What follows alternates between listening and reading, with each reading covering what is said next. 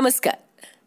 मी Sharvari. Subscribe करा तिचा जागा न्यूज शेजारी दिलेलं बेल आयकॉन म्हणजे घंटी दाबा जेणेकरून तुम्हाला आमच्या साऱ्या अपडेट्स येत राहतील.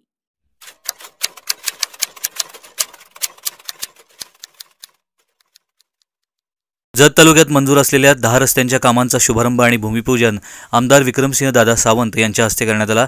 एकाच दिवशी दहा कामांचा सपाट आमदारांनी केल्याबद्दल नागरिकांमधून समाधान व्यक्त होत आहे. मुख्यमंत्री आणि पंतप्रधान सडक योजना आणि आमदार स्थानिक निधीतील रस्त्यांच्या कामांचा शुभारंभ यावेळी करण्यात आला.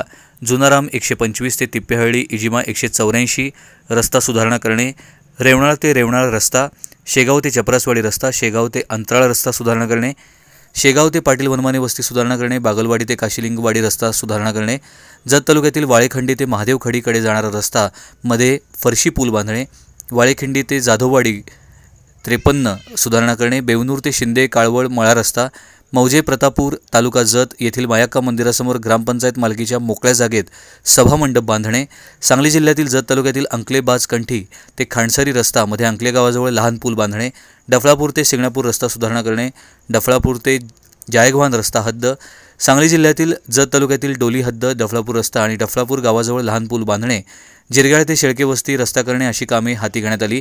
या सर्व कामांचं भूमिपूजन आमदार विक्रमसिंह दादा सावंत यांच्या हस्ते करण्यात आलं. यावेळी जत तालुका काँग्रेस कमिटी अध्यक्ष अप्पाराया बिराजदार माजी सभापती बाबासाहेब तात्या कोडक जत तालुका काँग्रेस कमिटी कार्याध्यक्ष सुजय नाना शिंदे जिल्हा परिषद सदस्य महादेव पाटील जिल्हा परिषद सदस्य सरदार पाटील पंचायत समिती सदस्य दिग्विज चव्हाण पंचायत समिती सदस्य रवींद्र सावंत मार्केट कमिटी संचालक अभिजित चव्हाण माजी सरपंच मारुती पवार युवा नेते नाथा पाटील नगरसेवक भूपेंद्र कांबळे दत्त संस्थेचे चेअरमन बाबासाहेब माळी अरविंद गडदे त्या गावातील सरपंच सदस्य अधिकारी आणि ग्रामस्थ उपस्थित होते.